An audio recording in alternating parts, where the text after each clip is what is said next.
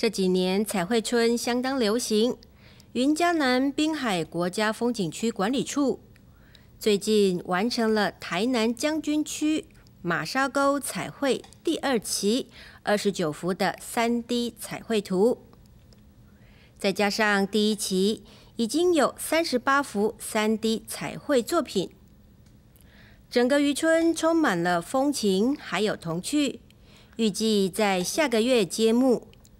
在地民众希望彩绘村可以带来观光人潮。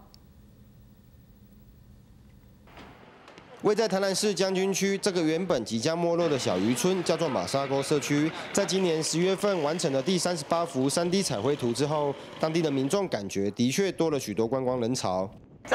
日日拢足济人啊！咧拜时啊拜啦，带人来，啊后大湾后对哦，足济人来，拢来拢来订啦。行行看看看三 D 彩绘啊，啊食食食物件呢啊。不管是大章鱼或是乌鱼子，这些充满象征渔村的产物，全部都成为了 3D 彩绘图的主角。从今年七月开始，透过云嘉南国家风景区的补助，连同第一期的九幅作品，马沙沟社区目前总共有三十八幅彩绘图，隐身在小山洞之间，值得游客来走访。包含